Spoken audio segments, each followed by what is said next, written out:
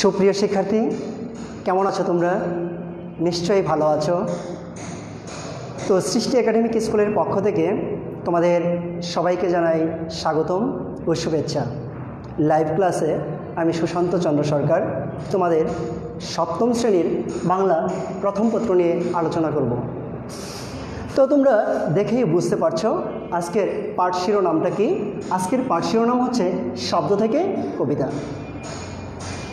তোমরা ইতিপূর্বে শব্দ থেকে কবিতার একটি ক্লাস পেয়েছ।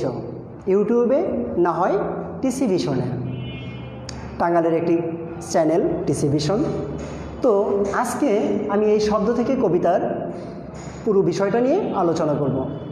সেই ক্লাসটাতে শুধু পাঠ পরিচিতি আর লেখক পরিচিতি ছিল। কিন্তু আজকের ক্লাসে আমরা পুরো বিষয়টা আলোচনা করার চেষ্টা করব। তুমি বুঝে নিতে চেষ্টা করবে। আমি প্রত্যেকটা টপিক থেকে বা আলোচনার ক্ষুদ্র ক্ষুদ্র অংশ থেকে তোমাকে জ্ঞানমূলক প্রশ্ন করার বা জ্ঞানমূলক প্রশ্ন কীভাবে তৈরি করতে হয় সে সম্পর্কে একটা ধারণা দিয়ে যাব। খেয়াল রাখবে। তো শুরুতেই আমরা এরকমটা প্রশ্ন করতে পারি। যে শব্দ থেকে কবিতা, এটি কি ধরনের রচনা? দেখো, উত্তরটা কিন্তু আমরা এরকম পেয়ে যাই। শব্দ থেকে কবিতা, একটি প্রবন্ধ রচনা। জ্ঞানমূলক একটা প্রশ্ন কিন্তু হয়ে গেল। তোমাকে এরকম চিন্তা করে করে পড়তে হবে। আরেকটা খেয়াল করো, শব্দ থেকে কবিতা, এটি কে লিখেছেন বা প্রবন্ধটি কে লিখেছেন? তোমরা স্পষ্টই বুঝতে পারছ। শব্দ থেকে কবিতা, এটি লিখেছেন হুমায়ুন আজাদ। তো আরেকটা জিনিস খেয়াল করো, এই হুমায়ুন আজাদ কত সালে জন্মগ্রহণ করেন? হুমায়ুন আজাদ জন্মগ্রহণ করেন উনিশশো সাতচল্লিশ সালে। উনিশশো সাতচল্লিশ সালের কথা তোমাদের মনে আছে? নেই, থাকার কথাও না। আমি এমনি যোগ করলাম। তো উনিশশো সাতচল্লিশ সাল, তখন পাকিস্তান স্বাধীনতা লাভ করে। সে সময় জন্মগ্রহণ করেন আমাদের বিশিষ্ট ঔপন্যাসিক গদ্যশিল্পী হুমায়ুন আজাদ। এই হুমায়ুন আজাদ উনিশশো সাতচল্লিশ সালে মুন্সীগঞ্জ জেলায় জন্মগ্রহণ করেন। তো এখান থেকে কিন্তু আরেকটা প্রশ্ন তৈরি করা যেতে পারে। হুমায়ুন আজাদ কোন জেলায় জন্মগ্রহণ করেন? মুন্সীগঞ্জ জেলায় জন্মগ্রহণ করেন। তো দেখো, হুমায়ুন আজাদের লেখা অনেকগুলো গল্প, উপন্যাস, প্রবন্ধ বা কাব্যগ্রন্থ রয়ে গেছে।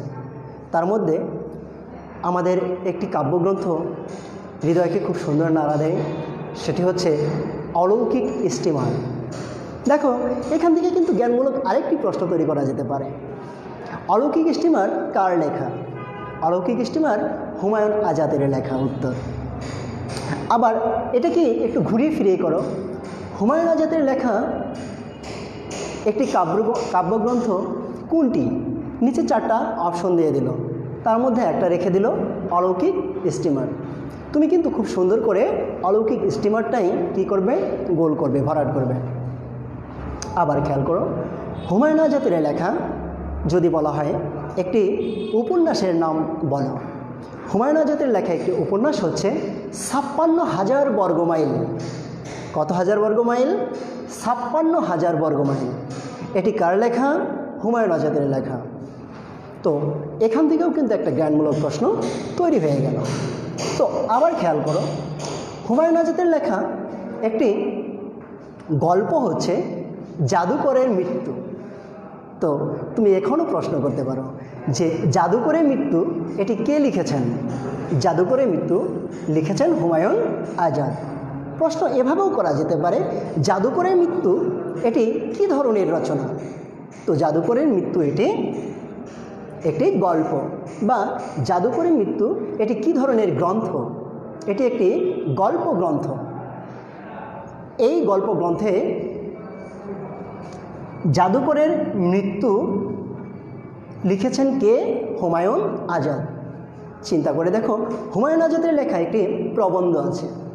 প্রবন্ধটির নাম হচ্ছে, আমরা পড়ছি শব্দ থেকে কবিতা। তো প্রবন্ধ গ্রন্থ আছে একটি। প্রবন্ধ গ্রন্থটির নাম হচ্ছে, লাল নীল দীপাবলি। প্রশ্ন করা যেতে পারে, লাল নীল দীপাবলি কে লিখেছেন? তুমি হামেশাই উত্তর দিতে পারবে, লাল নীল দীপাবলি লিখেছেন হুমায়ুন আজাদ। তো হুমায়ুন আজাদ সম্পর্কে আমরা তোমাদের সংক্ষিপ্ত একটা ধারণা দিলাম। তো হুমায়ুন আজাদ সম্পর্কে ধারণা দিতে গিয়ে আমি কিন্তু বেশ কয়েকটি জ্ঞানমূলক প্রশ্ন তোমাকে তৈরি করে দিয়েছি। তুমি কিন্তু এভাবে কি করতে পারবে? বাসায় অনুশীলনের মাধ্যমে নিজেকে আরও অনেক উন্নতি করতে পারবে। খেয়াল করো, সবশেষ হুমায়ুন আজাদ মৃত্যুবরণ করেন দুই হাজার চার খ্রিস্টাব্দে। চার খ্রিস্টাব্দে তিনি এই পৃথিবী ছেড়ে চলে যান, সমস্ত মায়া ত্যাগ করে। ইন্নানিল্লাহি ওয়াইনাইলাহি রাজিউন। দেখো, হুমায়ুন আজাদ সম্পর্কে আমরা ধারণা নিয়ে নিলাম। এবার আমাদের যে মূল বিষয়টা, সেটি হচ্ছে শব্দ থেকে কবিতা। শব্দ থেকে কবিতা, এর মানেটা কি? শব্দ দিয়ে কবিতা? শব্দ দিয়ে তৈরি কবিতা? শব্দ দিয়ে বানানো একটা কবিতা। একই রকম। তো খেয়াল করো, আমরা পৃথিবীতে বিভিন্ন রঙের মানুষ আছি, বিভিন্ন মনোভাবনার মানুষ আছি। আমাদের মনে বিভিন্ন ধরনের কথা বা স্বপ্ন জন্ম নেয়। কিন্তু তুমি যে স্বপ্নটাই দেখো না কেন, তুমি যে কথাটাই বলো না কেন সেক্ষেত্রে কিন্তু তোমাকে শব্দ ব্যবহার করতে হয়। শব্দ ব্যবহার করেই তুমি কি করো? বাক্য তৈরি করো। আর এই বাক্য প্রয়োগ করেই তোমার মনের ভাবটা অন্যের কাছে প্রকাশ করো। তো চিন্তা করে দেখো, এই প্রকাশের ভঙ্গিমা কিন্তু এক একজনের এক এক রকম। কার সবচেয়ে ভালো হয়? যে অনেক বেশি শব্দ জানে, যে শব্দের সৌন্দর্য বোঝে, যে শব্দগুলোকে লালন করে এবং উপযুক্ত শব্দ ব্যবহার করে ছন্দের সাথে সাথে অন্যের কাছে উপস্থাপন করে। চিন্তা করে দেখো, শব্দ আমরা সবাই কম বেশি জানি। কিন্তু আমি যতগুলো শব্দ জানি, তুমি হয়তো তার চাইতে বেশি জানো। বা তুমি যতগুলো শব্দ জানো, আমি হয়তো তার চাইতে বেশি জানি। আচ্ছা ধরো দুজন সমানই জানি, কিন্তু তুমি যে শব্দগুলো জানো, সেগুলো আমি নাও জানতে পারি। বিষয়টা এমন। তাই আমাদের কি করা উচিত? এই হৃদয়টা শব্দে পরিপূর্ণ, অর্থাৎ জ্ঞান ভাণ্ডার বা শব্দ ভাণ্ডারটা বেশি থাকা দরকার। থাকলে আমরা কি করতে পারব? আমাদের উপস্থাপনা খুব সুন্দর হবে। আমরা যে কথা বলব, এগুলো খুব সুন্দরভাবে বলতে পারব। শুধু তাই না, আমরা এই সব শব্দ দিয়ে একের পর এক গুছিয়ে গুছিয়ে গুছিয়ে গুছিয়ে কি করতে পারব? আমরা তৈরি করতে পারব একটি কবিতা। তোমরা নিশ্চয়ই জানো, যে কোনো কিছু তৈরি করতে গেলে কিন্তু উপকরণের প্রয়োজন হয়। দেখো, তোমাকে উদাহরণস্বরূপ বলছি, এটি একটি ডাস্টার। এটার নাম কিন্তু ডাস্টার, কিন্তু এর মধ্যে দেখো কী কী উপকরণ ব্যবহার করা হয়েছে, এটি তৈরি করার ক্ষেত্রে।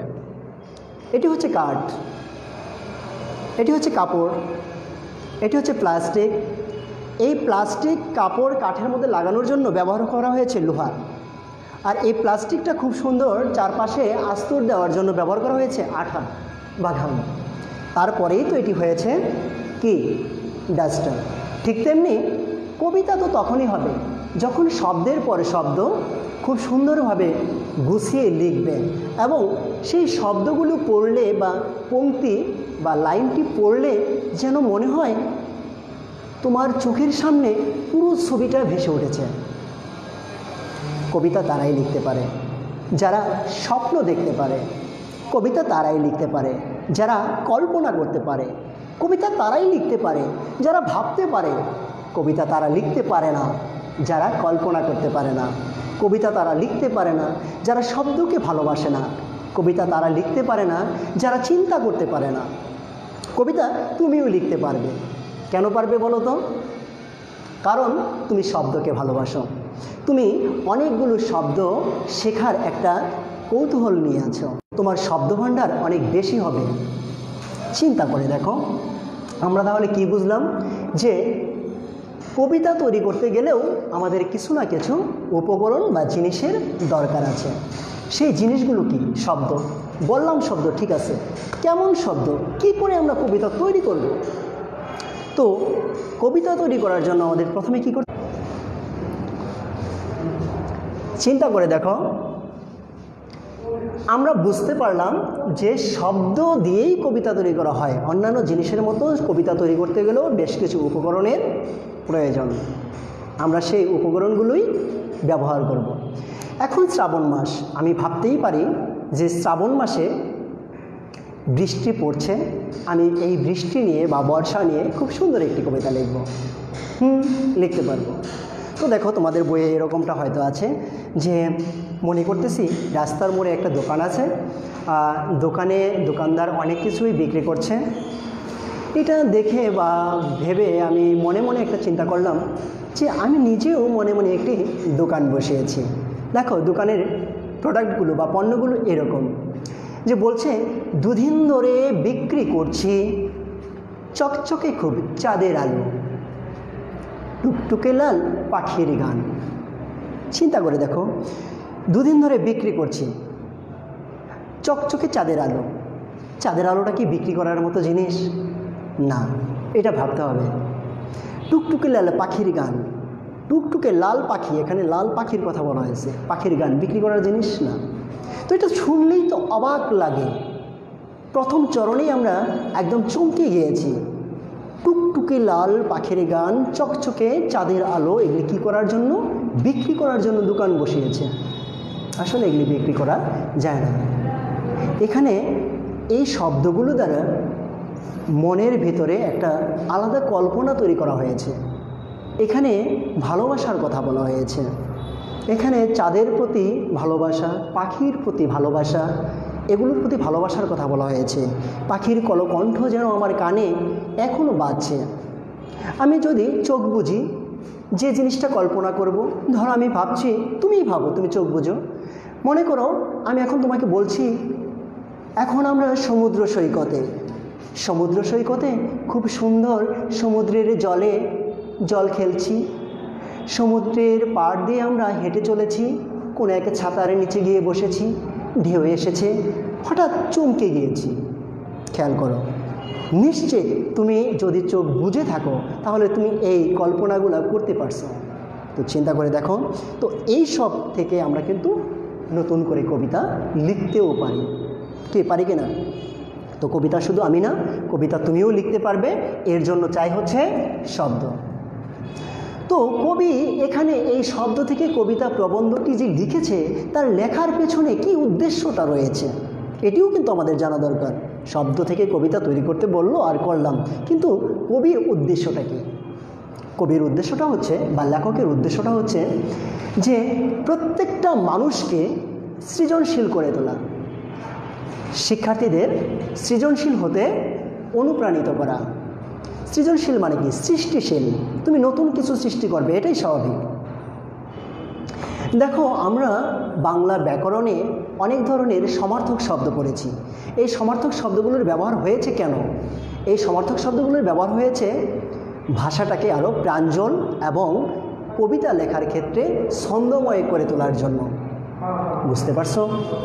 তো দেখো, শব্দ থেকে কবিতা এই বিষয়টি, অর্থাৎ এই প্রবন্ধের থেকে আমরা কি জানলাম? এই প্রবন্ধ থেকে আমরা জানলাম যে কবিতা তৈরি করার জন্য মূল যে বিষয়টা, সেটি হচ্ছে শব্দ। তাহলে এখানেও একটা জ্ঞানমূলক প্রশ্ন তৈরি করা যেতে পারে যে কবিতা তৈরির জন্য কোনটি প্রয়োজন? শব্দ প্রয়োজন। আবার এটাও কিন্তু বলা আছে, কবিতার ক্ষেত্রে একটা ছন্দ আসবে, খুব সুন্দর দুলে দুলে, নাচতে নাচতে একটা ছন্দ আসবে। তো কবিতা তৈরি করার জন্য শব্দের যেমন দরকার, তেমনি ছন্দেরও দরকার। শব্দ এবং ছন্দ মিলিয়েই আমরা কবিতা তৈরি করতে পারব। ছোটোবেলায় তুমি পড়েছ। ওই দেখা যায় তাল গাছ, ওই আমাদের গা, ওইখানেতে বাস করে কানা বগির ছা। চিন্তা করে দেখো তো, ওই আমাদের গা, আ, আর কানাবগির সা আ। এক্ষেত্রে কিন্তু আমরা ছন্দের একটা খুব সুন্দর মিল পেয়েছি। তো এখানে ছন্দ মেলানোর জন্য যদি তুমি অন্য শব্দ ব্যবহার করতে, তাহলে কিন্তু ছন্দ মিলত কিন্তু আমাদের পুরো ভাবটা বিশ্লেষণ করতে পারতাম না বা মনের মধ্যে এই স্বপ্নটা বা এই ছবিটা ভেসে হতো না। তো প্রশ্ন করা যেতে পারে, তাহলে স্যার, কবিতা কি? হ্যাঁ লেখকের মতে কবিতা হচ্ছে সেটাই যা পড়লে মনের মধ্যে ছবি ভেসে ওঠে। তাহলে কবিতা কি? যা পড়লে মনের মধ্যে ছবি ভেসে ওঠে। তো মনের মধ্যে ছবি ভেসে উঠবে এমন বিষয়টাই হচ্ছে কবিতা। তাহলে কবিতা তুমি লিখতে পারবে নিশ্চিত। তুমিও লিখতে পারবে, আমিও লিখতে পারব। তাহলে এই প্রবন্ধের থেকে আমরা বুঝতে পারলাম যে আমাদের প্রত্যেককে কি হতে হবে? সৃজনশীল হতে হবে। তাহলে তোমার কাজ রইল কি? তুমি বাসায় এই কবিতা লেখার প্র্যাকটিস করবে। না না, পড়াশোনা সব বাদ দিয়ে যে চেষ্টা করবে, তা না। তুমি দু চারটা করে লাইন লেখার চেষ্টা করবে। কেমন? আজকে আর না? আজকের মতো আমি এখানেই বিদায় নিচ্ছি।